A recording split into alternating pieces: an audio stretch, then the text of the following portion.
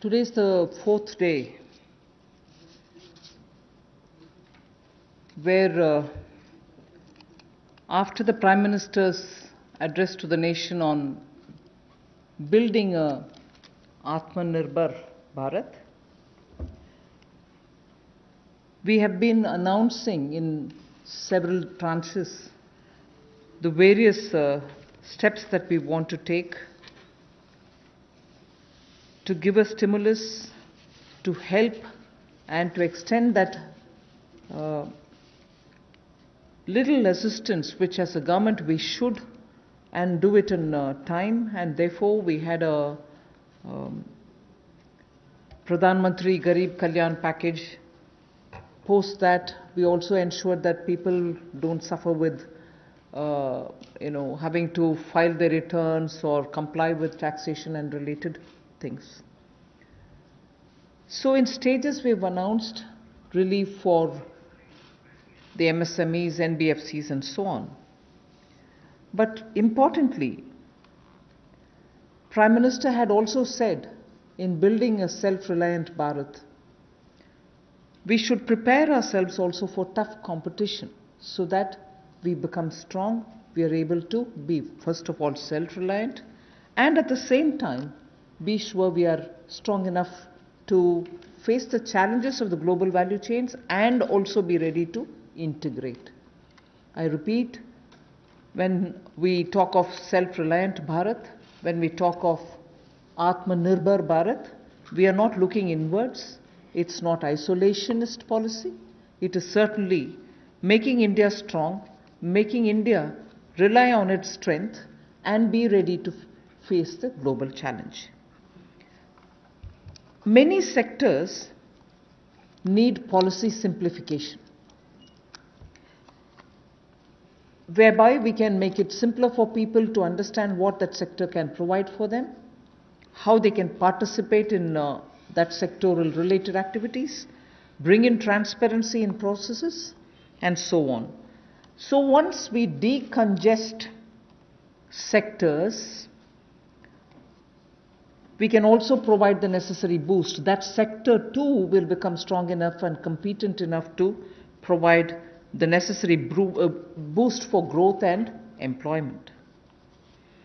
And as you all know, the Prime Minister has a very strong track record in taking up reforms, deep systemic reforms. I'll just, just highlight those reforms which are worth recalling. And on those reforms, it was public knowledge, and all of you all covered extensively the efforts that had gone to take everybody on board so that those reforms become everyone's reform. DBT, the direct benefit transfer, today it's become very useful for us to be able to directly give money in the hands of people. GST, which had been pending for a very long time, all states were taken on board, and GST brought in one nation, one market.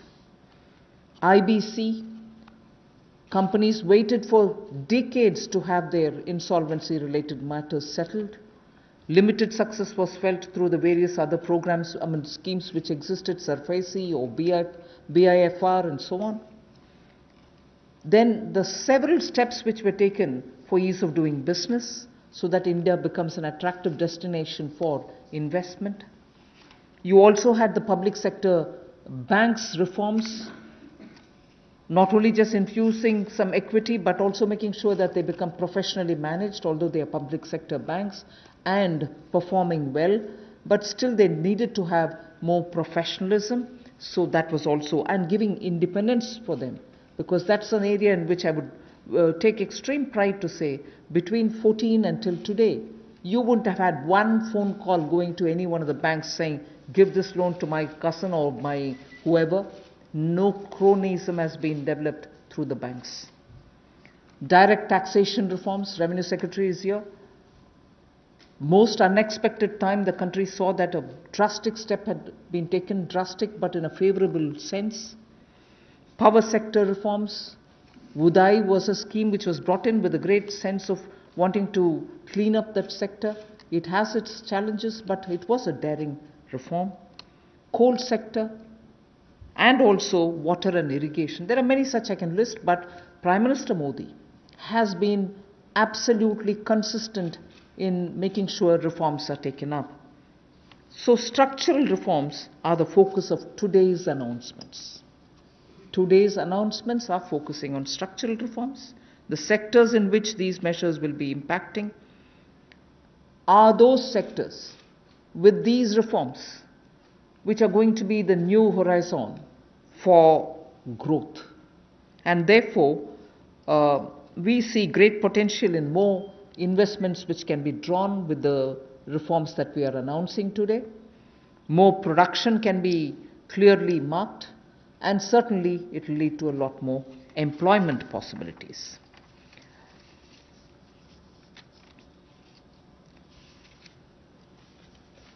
We can actually start off with some uh, preliminary slides before I go into talking about uh, today's announcements, which will explain all the steps that we've taken in the recent past to make sure that investment come into this country and also make India a far, far more business friendly destination. Before I go into that, it is important for us to recall that steps which have been taken earlier have been announced variously at different times. And uh, because of the lockdown and because of COVID, I think time feels like as though it's been a long time since the budget was presented. It was only presented on 1st February. And just as soon as the finance bill got passed, the parliament also had to uh, very quickly close for the reasons of social distancing and so on. And just before February, we announced the National Infrastructure Investment Foundation, the, the fund that was launched.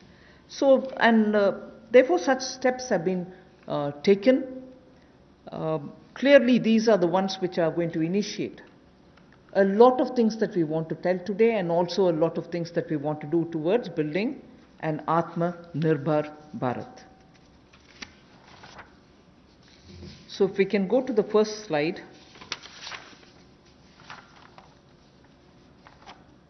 The policy reforms uh, to fa- fast track investments. In the last couple of months, an empowered group of uh, secretaries has been formed who also looked at project development, and project development cells were formed in various ministries ranking of states on investment attractiveness is also being uh, worked out. This will make them compete for new investments and promotion of champion sectors such as the solar PV manufacturing and so on, the advanced cell battery storage research. These kind of activities are also being given a priority. So, for an Atmanirbhar Bharat and for Make in India, such steps are crucial, and we want to make sure that efforts which have been taken clearly give us the confidence that Make in India, which was launched at least three years back, as an initiative to change the mindset of people, to bring in new ways of doing business, to make sure that India becomes attractive on its strength, are all being received very well. So today, if I look at Make in India for Atmanirbhar Bharat, the foundation was uh, laid earlier, and many investors have found that India's market, size of India's market, the aspirational middle class, the rule of law which prevails, and also making sure the talent pool which exists in India makes India an attractive destination for producing for India and also for producing in India and exporting from India. So that is exactly what has been shown here, and uh, incentive schemes are being given for these champion sectors. So we need to uh, clearly understand the purpose with which, when we talk of Atmanirbhar Bharat, it is uh, on all these steps building India's strengths. The next slide would show you that attempts and also efforts have already started for upgradation of industrial infrastructure. I'm saying all this because the reform steps that I'm going to announce will have all these also uh, having a play in the various steps that we are announcing. Upgradation of in industrial infrastructure is something which we need to talk about afresh, although industrial infrastructure, um, industrial land, land banks, and also clusters have been recognized long time back. But they're all somewhat being utilized, many of them lying unutilized. So now using technology, we are making sure these uh, uh, land parcels are through GPS, GIS mapping are able to be identified, location cleared, their challenges being identified, common facilities which have to be created will all be um, done. 3,376 industrial parks and estates and SEZs have between them, or have among them 5 lakh hectares, all of them mapped as industrial information system can map them for future use. So this will be uh, a part of the portal which we'll be running so that it will be available for any future potential investor to say, I know land exists there, we can go set up a business there. In the meanwhile, the state government working to this with the center is going to provide all the common facilities. So all industrial parks also will get ranked by 2020-21 so that we know what is the level of readiness that they have and how ready they are for competition. So with this said as a broad introductory statement, I just want to highlight the eight sectors about which we are going to talk, where reforms are being brought in. Coal, minerals, defense production. I read out separately the next three, although they together contribute for um, flying, airports, and also aerospace related matters. Airspace management, airports, MRO, which is maintenance, repair, and overhaul. So those three all go over to the civil aviation area. Distribution companies in the Union territories, power distribution companies in the Union territories, space, space sector where ISRO and others have been uh, flag bearers for India, atomic energy. So eight sectors, but I will be showing you about 10 to 12 slides, all of them explaining each one of these sectors in detail. Namaskar. आत्मनिर्भर भारत की जो कल्पना माननीय प्रधानमंत्री जी ने हम सबके सामने रखी थी और 20 लाख करोड़ का पैकेज देश भर के लिए लाए थे, उसी कड़ी में आज चौथी प्रेस वार्ता में नए क्षेत्र कौन से हमारे विकास के लिए हो सकते हैं, उसको लेकर क्या बदलाव, क्या रिफॉर्म्स लाई जा सकती हैं, उसको लेकर आज हम आप सबके सामने आए हैं। क्योंकि माननीय प्रधानमंत्री जी ने कई बार पहले भी कहा है रिफॉर्म परफॉर्म ट्रांसफॉर्म और उसी दिशा में सबसे पहला कदम है रिफॉर्म्स लाने का। पिछले कुछ दिनों में एमएसएमई सेक्टर हो या एग्रीकल्चर सेक्टर हो, इनकी परिभाषाएँ चाहे एमएसएमई की हो, ये एसेंशियल कमोडिटीज एक्ट की हो एपीएमसी एक्ट की बात हो, इनको बदलने से ही इतनी पॉजिटिव बातचीत पूरे देश भर में हो रही है, एक सकारात्मक सोच इन दोनों वर्गों में देश भर के करोड़ों लोगों के बीच में चल रही है। एक नया क्षेत्र या बाकी नए क्षेत्र, जिनकी माननीय वित्त मंत्री जी ने अभी बात कही कि आठ नए क्षेत्रों को लेकर आप सबके सामने आए हैं। यह भी कहा कि आत्मनिर्भर भारत को कड़ी प्रतिस्पर्धा के लिए तैयार रहना होगा, हर चैलेंज के लिए, चुनौती के लिए तैयार रहना होगा, और जहाँ जहाँ नीतिगत बदलाव चाहिए वहाँ वहाँ नीतिगत बदलाव लाने के लिए भी हम लोग तैयार हैं। अब इंप्लीमेंटेशन की बात आती है उसको उसके लिए माने ही मोदी जी जाते हैं कि किस तरह से अच्छी इंप्लीमेंटेशन पिछले छह वर्षों में करके दिखाई। चाहे वो जीएसटी की बात हो आई इंसॉल्वेंसी बैंक्रप्सी कोड की बात हो जनधन योजना की बात हो यूपीआई जैसे प्लेटफॉर्म बनाने की बात हो, हर गाँव में बिजली और हर घर को राशन देने तक की कोविड 19 की स्थिति में बात हो। तो इसलिए इस सेक्टर्स में भी तेज़ी कैसे आए? फास्ट ट्रैक इन्वेस्टमेंट की कैसे हो, उसके लिए एम्पावर्ड ग्रुप ऑफ़ सेक्रेटरीज का गठन किया गया है, जो निजी निवेश की मंजूरी के लिए गति देने का काम उसमें से करेंगे ताकि उसमें सहायता मिल सके और आकर्षित हम विदेशी निवेश को कर सकें।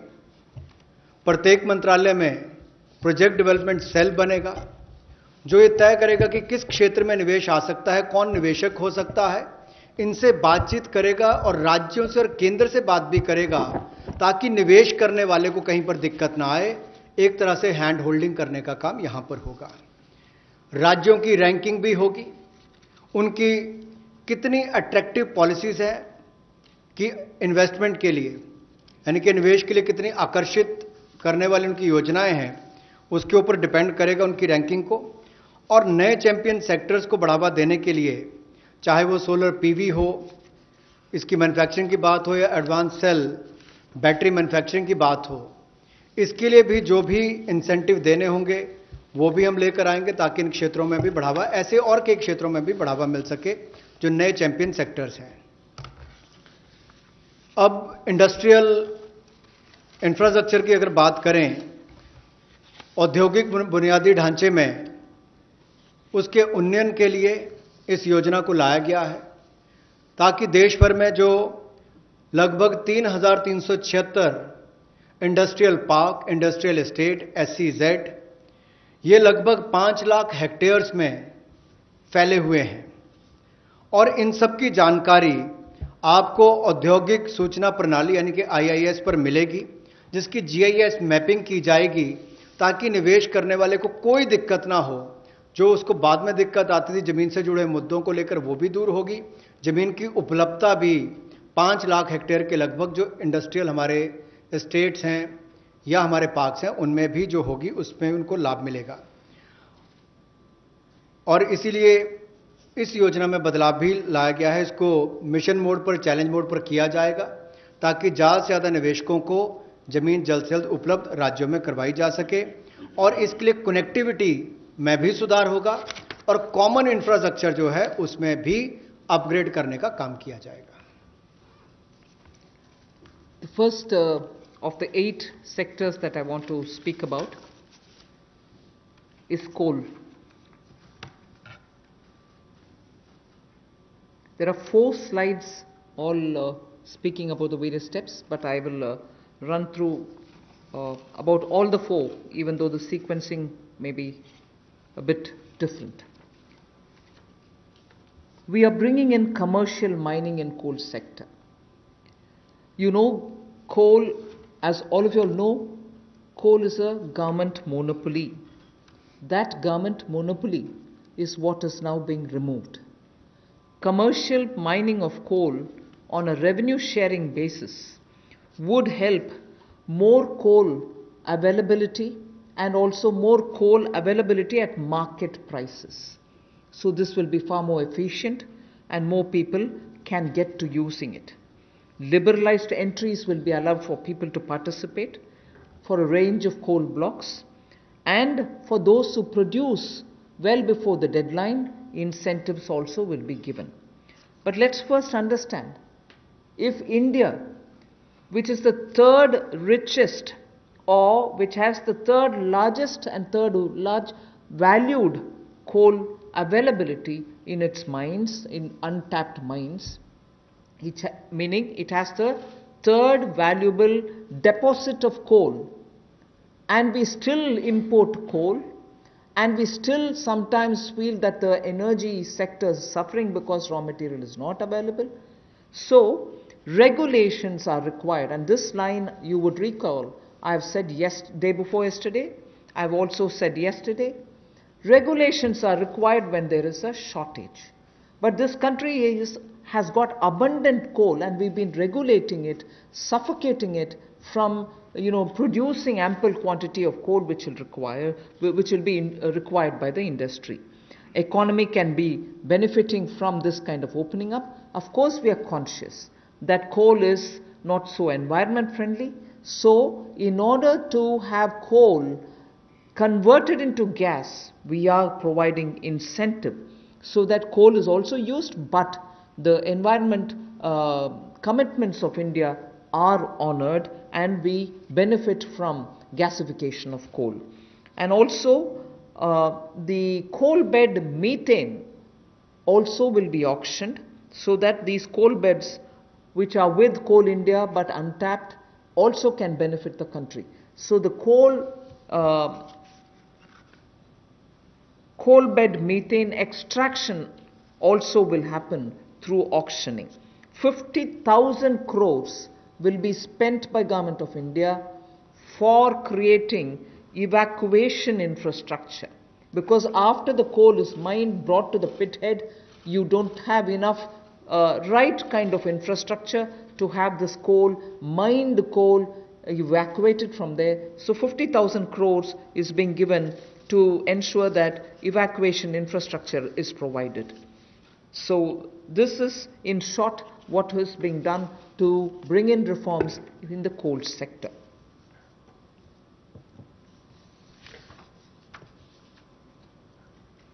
कोयला उत्पादन के क्षेत्र में आत्मनिर्भरता हमारी कैसे बने और केवल उतना ही कोयला बाहर से लाया जाए जिसकी आवश्यकता है जो यहाँ पर उपलब्ध नहीं है। दुनिया का सबसे, या दुनिया के पहले तीन सबसे बड़े भंडारण क्षमताओं में, जहाँ पर कोल ब्लॉक्स है, यानी कि जहाँ पर कोयला है, उसमें भारत आता है।